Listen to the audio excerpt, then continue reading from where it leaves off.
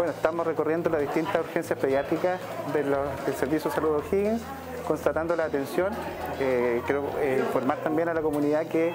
eh, hay un plan que hemos desarrollado para enfrentar este aumento de circulación viral, principalmente en los niños.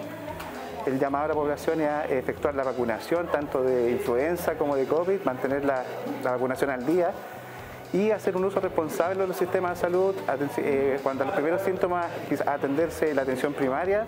y de ser más complejo, ya atenderse en el nivel secundario en los hospitales. Hasta el momento estamos dando respuestas adecuadas, así que esperemos que sigamos en esa misma línea y obviamente que insistir en la consulta oportuna, temprana y los, también los cuidados que deben tener todas las familias de sus menores de edad en sus casas.